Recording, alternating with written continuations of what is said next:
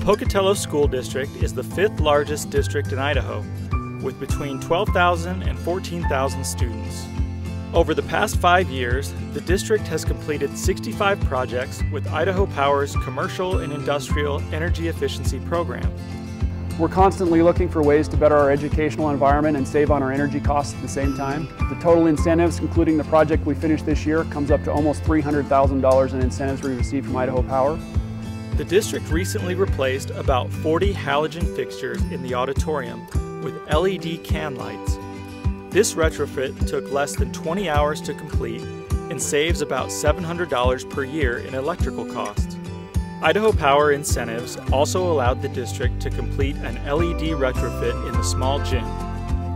These projects increased light levels, replaced classroom HVAC systems with more efficient equipment, installed occupancy sensors, and more.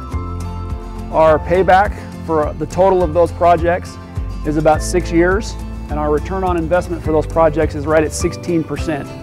Through our energy program, we've been able to save $200,000 annually. That's enough money to buy 850 Chromebook laptops for our classrooms. To learn more about energy efficiency upgrades, visit idahopower.com/business.